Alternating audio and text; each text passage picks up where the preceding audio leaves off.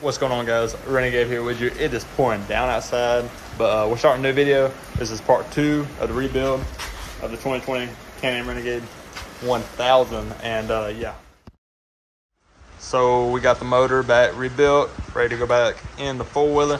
New spark plugs, intakes all cleaned up. It was so dirty, so, so dirty. Need to wipe it out again. It's been sitting there. But uh, got aluminum valve covers, got some aluminum water necks, and uh, yeah, I got the tranny put on, and she is about ready to go.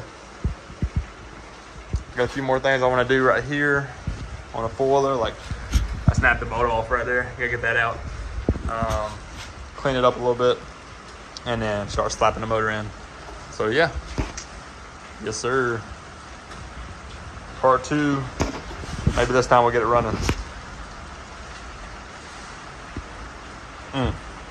A lot of work. All right, y'all. Well, you know that broke, well, yeah, the broke bolt that was uh, stuck in there. Yeah, little bitty uh, wire feed welder. Welded a nut on it, and we got that bad boy out of there. So got that done. I'm gonna try to fix the steering before I put the motor back in.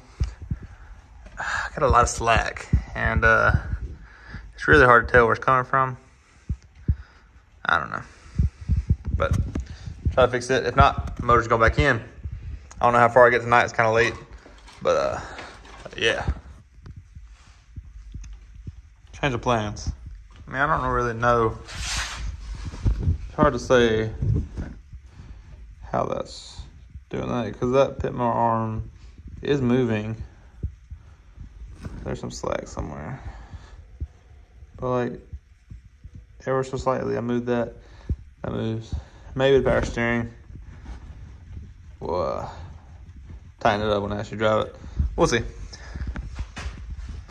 Hmm. I'm gonna put the motor in. All right, y'all. I got the motor sitting in there. I got the main motor mount bolts in there. Some new bolts down there. Got the top one in somewhere. But uh, now I got a bunch of other crap to do. I'm gonna do the drive shafts, then the exhaust, and then start doing wires, and then we'll move to the airbox. So, good stuff. All right, well, front drive shafts on, back drive shafts on, bolts in it. Got my coolant hoses hooked up, got a couple of vents hooked up, and uh, yeah, it's gonna be it for tonight. Got a lot more to do, but at least we're getting closer. All right, y'all. Well, I'm getting in here a little late tonight. Try to put the exhaust on and then get most of this wiring in. Go ahead and dial let you grease everything, of course. So we won't have to touch it again. But uh, that's probably what we tonight. So let's get it. All right, y'all. Well, I got the exhaust on front and back. I got the back exhaust on. It's a little loose um, cause yeah, but I gotta find some little rubber adapters for that.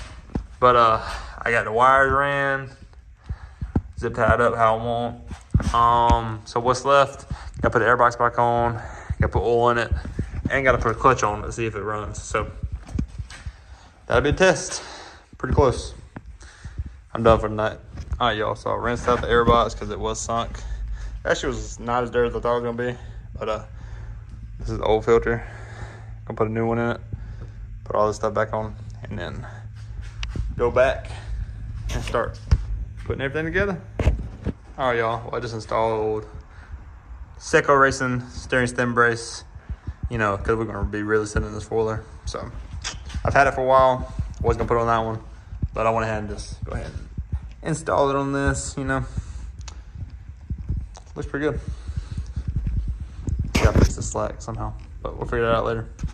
Well, I got the airbox on right here. I haven't bolted it down yet. I'm gonna make sure she runs first. Got oil in it. Gotta put the battery back in it. Well, I gotta buy a new battery because I sold the other battery. And that one's trash. We're gonna hook up the jumper cables. I gotta put a clutch on it so it'll run. And then we're gonna try it. And the screen, because the screen don't work. All right, y'all. I just did the battery out of that one. Let's see if she starts.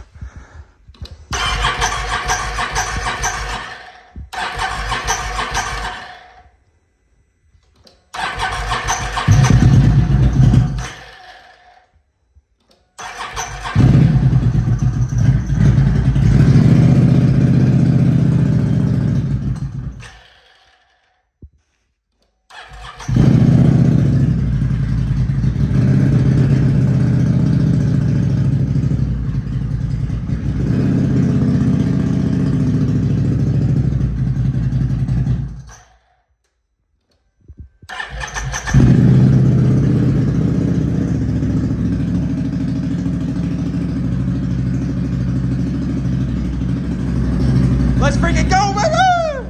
Woo!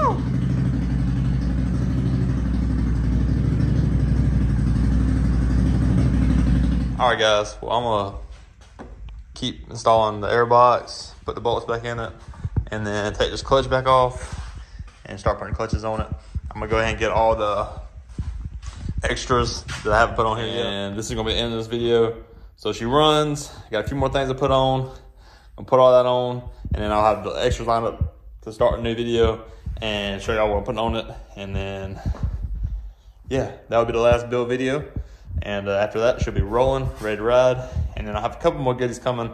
That's gonna be the next video though, because that'll be after she's rolling, riding, getting the motor right, um, hooking it up to my computer, getting all that right. So stay tuned for that one. And until next time, guys.